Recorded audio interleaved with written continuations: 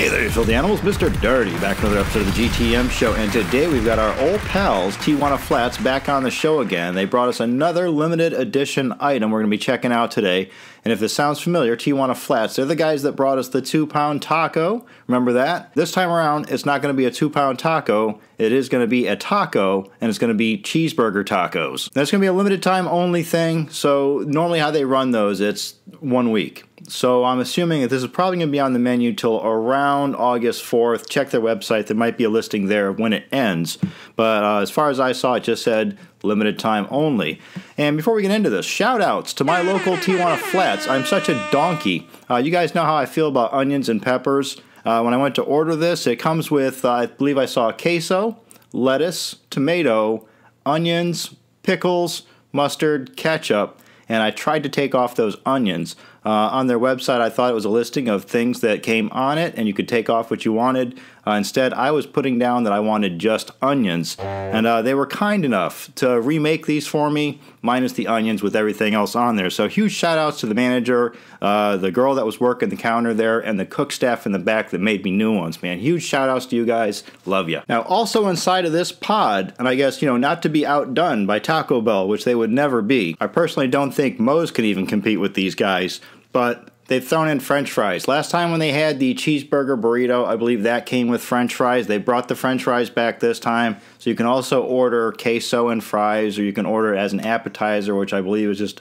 a larger fry and a larger order of queso. But back to our Dos Cheeseburger Tacos, limited time only. Let's pop this open and get first look going on here. Okay, so there's our fries and our queso right off the bat. And over here we've got our Dos cheeseburger tacos. If I can peel one back, let's take a look inside and get a quick peek. All right, so there you go. There's lots of queso.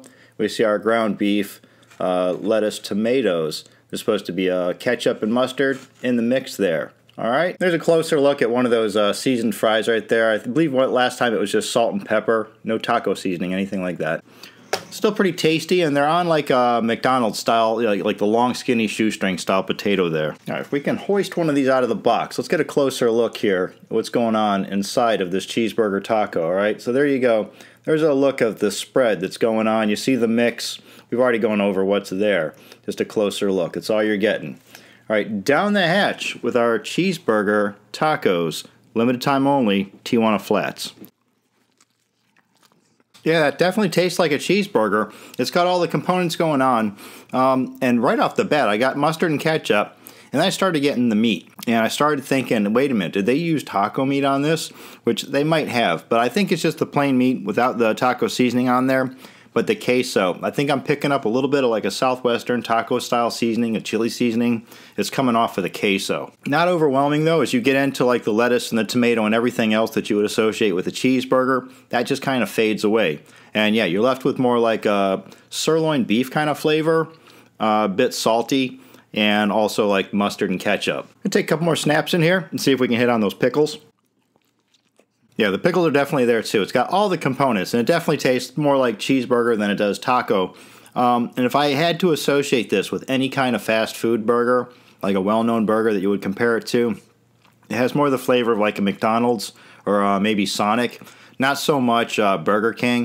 It doesn't have like that char broiled flavor. It has more like fried meat flavor. The mere idea of this might come across as weird, but the flavors aren't at all. Uh, the flour tortilla it mimics a bun very well, just thin, less bread. So at the end of the day, you have like very familiar flavors going on here, just delivered in an unconventional way. Uh, would I pick this up again?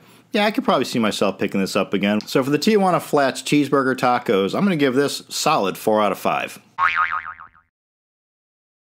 like I said, they're pretty good. I could definitely see myself picking them up again, but it's not. It wouldn't be like a go-to.